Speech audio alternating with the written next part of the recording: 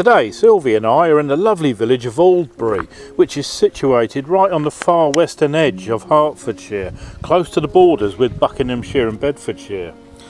The village is a magnet for walkers who, who use the village as a base to go on various walks all around this part of the county and up into the Ashridge Forest or the Chiltern Hills. It's also commonly used as a filming location.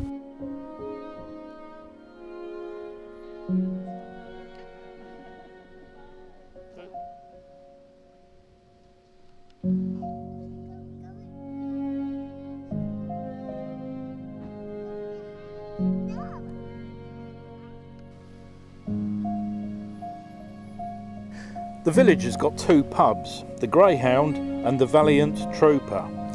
And when Sylvie and I did a walk from here back in January, we stopped at the Valiant Trooper on our return for a drink.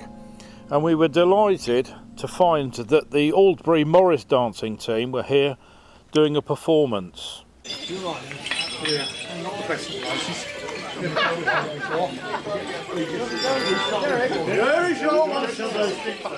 Right, best there is your Cast to start the way. Cast.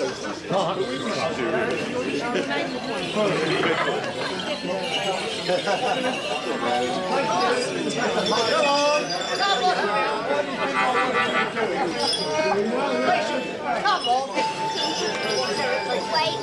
Very good.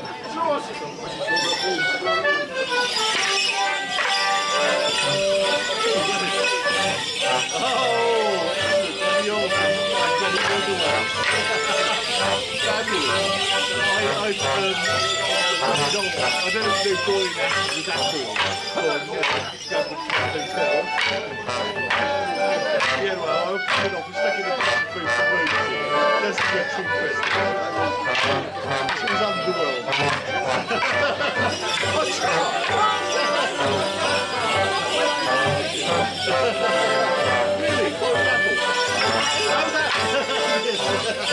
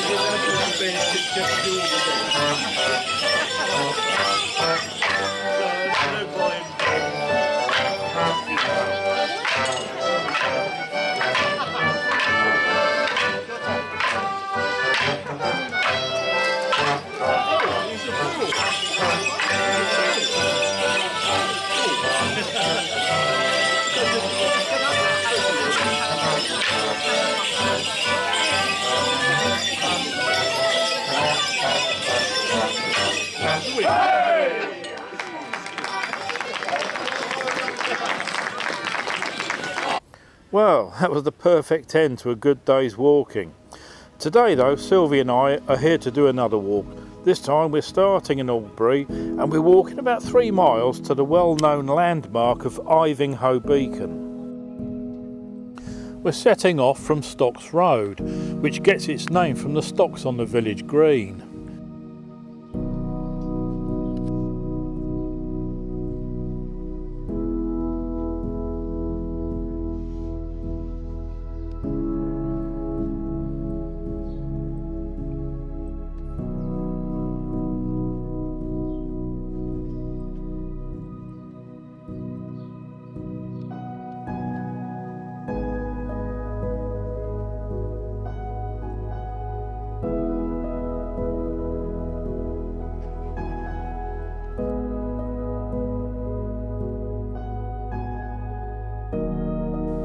As we reached the outskirts of the village, we passed the gates of a large Georgian mansion. This is Stock's house, and in recent years was the home of a man named Victor Lownes, who headed up the European arm of Hugh Hefner's Playboy empire.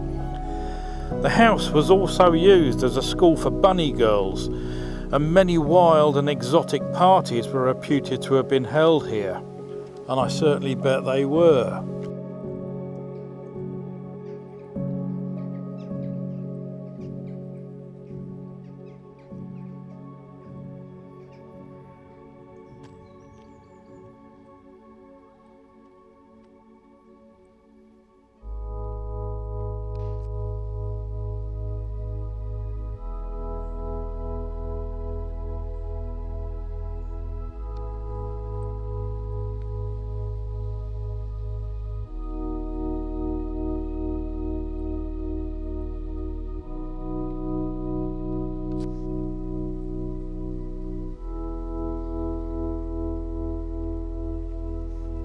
Well, we walk about a mile and a half along Stocks Road before we turn off and take the footpath over to Ivinghoe Beacon.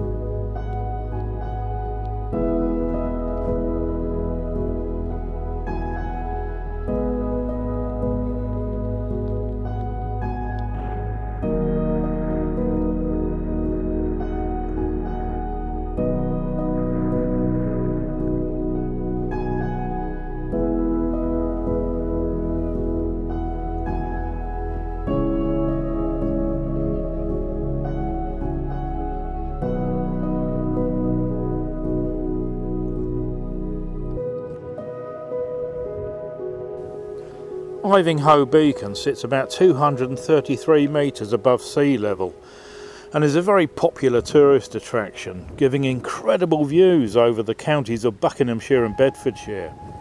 But it's also a popular filming location and it has been used in four of the Harry Potter films as well as the Star Wars movie The Rise of Skywalker, to name just a few.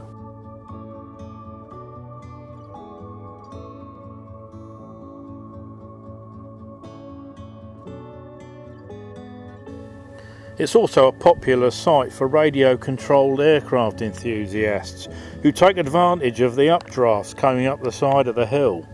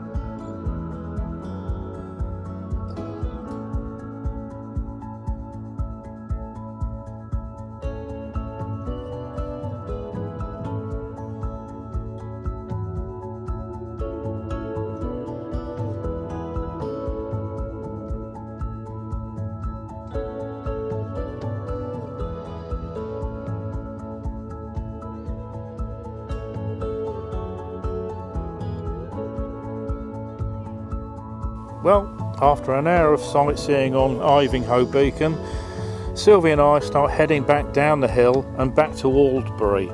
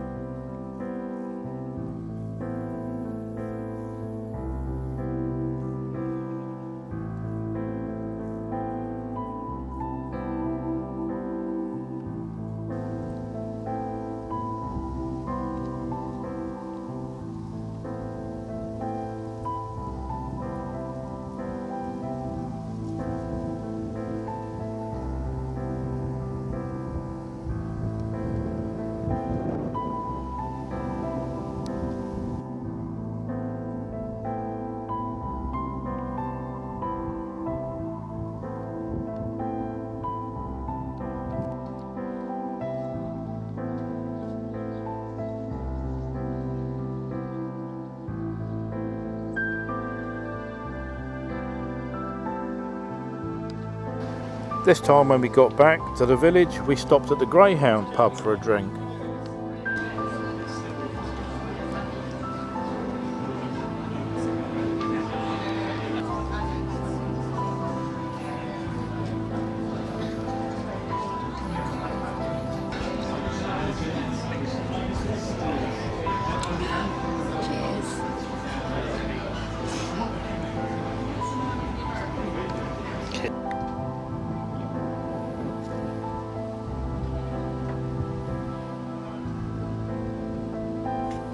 Well, after our refreshing drink, Sylvia and I decide to head home. And on the way, we stop by at the Pitstone Windmill, which we can see in the fields below Ivinghoe Beacon. It's been a pleasant walk today. It's lasted about four hours and covered roughly six miles.